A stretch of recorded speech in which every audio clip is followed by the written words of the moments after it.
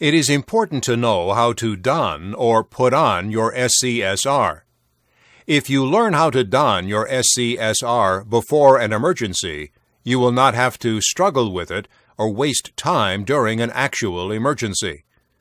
Before you don an SCSR, you should become familiar with the following characteristics common to most SCSRs.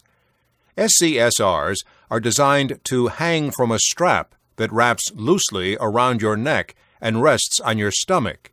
They are secured by a second strap that wraps around your waist.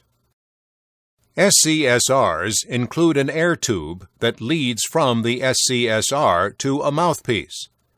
When using the SCSR, you will bite down on this mouthpiece to hold it securely in place while you move toward safety. SCSRs include nose clips that close your nostrils to prevent flow of air through your nasal passages. And SCSRs include goggles to protect your eyes.